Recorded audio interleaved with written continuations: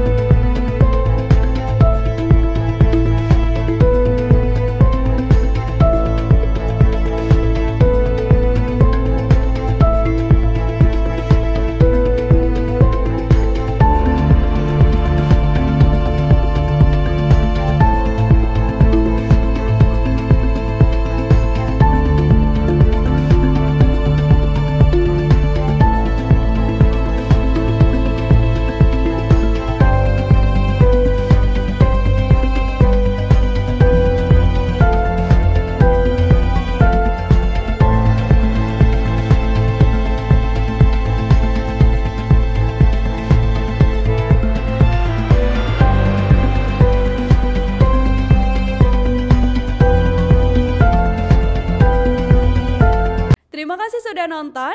Jangan lupa like, subscribe, dan share ya.